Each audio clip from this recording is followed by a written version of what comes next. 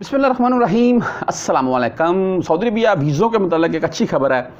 Information वाली video है, ख़बर भी अच्छी है। वीज़ों के मतलब आपको पता है जी कि विज़िट वीज़ा, वर्क वीज़ा, उम्र वीज़ा। विज़िट वीज़े में भाई बहुत सी कैटेगरी आती हैं। वर्क वीज़ा तो आपको पता है वर्क वीज़ा के ये कैटेगरी आती है आपका कौन कौन सा महीने के हिसाब से ले रहे सामान मंजिल सस्ता मिल जाएगा, लेकिन आप पर्सनल घर के तौर पर काम कर सकते हैं। को और महीने वाले ले लेंगे, आप बाहर काम कर सकते हैं। बाहर से मुराद ये कफ़ील के अंडर में ही। आज़ाद काम करना चाहते हैं तो फिर कफ़ील लाजम है, कफ़ील का आपके पास वर्का वगैरह हो और कफ़ील आपकी पैरवाई करने वाला हो और महीना भी आपका बड़ा होना चाहिए। बहरहाल जी, ये तो चलो चलते रहते हैं मामला। कुछ भाई, दोस्त, अहबाब मेरे खुद से और बाहर काम करते रहे सालों साल और कंपनी के ऊपर केस किया हुआ था। केस वाले पेपर थे, महकमा तनजीफ़ के उनके पास। जब कोई शुरता रोकता था तो वो पेपर दिखा देते थे शुरता छोड़ देता था। बहरहाल उनका अगर इकामा नंबर भी वो लिख कर यानी कि वो इकामा स्कैन करते हैं, हर दौरिया की गाड़ी में, आपको पता है वो स्कैनर लगा हुआ है।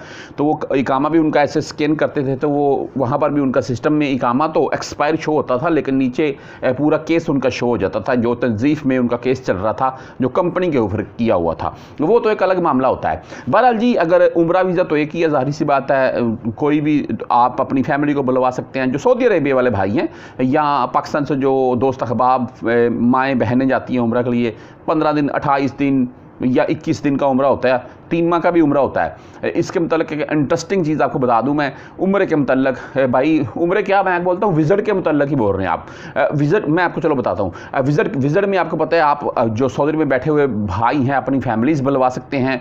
आप सऊदी अरबिया में विजट के तौर पर जा सकते हैं। किस तरह? एक साल के विजट के ऊपर, मिसाल के तौर पर। तो एक तीन माह का भी विज़िट है, एक साल का भी है। लेकिन एक साल का अगर आपने विज़िट करना है तो भाई, लाजम है उसके लिए कि आपको वहाँ से कोई वीज़ा भेजे। ठीक है जी? पाकिस्तान से आप वीज़ा डायरेक्ट वो नहीं लगवा सकते। जैसा कि उम्र वाला आप डायरेक्ट लगवा सकते हैं। विज़िट एक साल वाला ऐसे नहीं होता है। वो लाजम है, वहाँ से आपको खूब भेजे फिर ही वो स्टैंप होता है।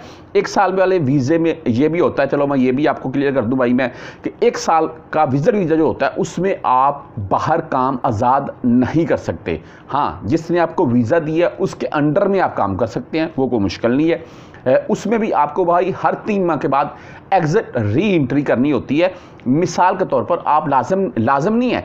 आप इंडिया से बांग्लादेश से पाकिस्तान से हैं, लाजम नहीं है कि आप हर तीन माह के बाद पाकिस्तान जाएँ और वापस आएँ। नहीं, हर तीन माह के बाद आपने एग्जिट री एंट्री करनी है, यानी कि आप मिसाल दमाम वाली साइड पर हैं, आप भाई वहाँ से कतर वाली साइड पर जा सकते हैं। आप तबूक वाली साइड पर हैं, आप लबनान जा सकते हैं। आप भाई जद्दा या रियाज वाली साइड पर हैं, आप वहाँ से फ़्लाइट लेकर दुबई जा सकते हैं। भाई पासपोर्ट के ऊपर आपके एग्जिट और इंट्री की मोर का ठप्पा होना लाजम है। हर तीन मास के बाद, ठीक है जी? यानी कि तीन माह जब आपकी कंप्लीट हो जाए, उससे दो चार दिन पहले आपने एग्जिट री एंट्री कर लेनी है। आपका एक साल वाला वीज़ा एक्सपायर नहीं होता है। चलता रहता है। और तीन माह का जो वीज़ा है, वो तो आपको पता है, नब्बे दिन का होता है, नब्बे दिन के बाद आपने लाजम है सफ़र करना है। अगर नहीं करेंगे तो आप भाई इलीगल हो जाएँगे। और उन मामला की सूरत में मैं मुख्तलिफ़ वीडियोज़ में ज़िक्र कर चुका हूँ, फिर बहुत से मसले मसाइल बनते हैं और उनका हल क्या होता है। व्हाट्सअप नंबर आपको दिखा रहा हूँ। मजीद आपने इसके मतलब कुछ पूछना हो तो मुझसे रब्ता कर सकते हैं। अभी गुड न्यूज़ इसके मतलब ये है जी कि वर्क वीज़े के मतलब तो अलहमदिल्ला पाकिस्तान में वीज़ा स्टैंप होना शुरू हो चुके हैं। अलहमदिल्ला मतवातर तरीके से हो रहे हैं। लेकिन सऊदी गवर्नमेंट की तरफ़ से एक आज एक क्लियर कर दिया गया है कि तमाम वो बंदे जो विज़िट के तौर पर सऊदी अरबिया में मुकीम हैं, चाहे वो तीन माह का उम्र का वीज़ा लेकर आए हुए हैं, वो भी विज़िट में शुमार होता है। चाहे वो किसी फैमिली, यानी किसी ने अपनी फैमिली बुलवाई हुई है, वो भी इसी में आते हैं। चाहे एक साल का कोई वीज़ा वीज़ा लेकर आया हुआ है। ठीक है जी?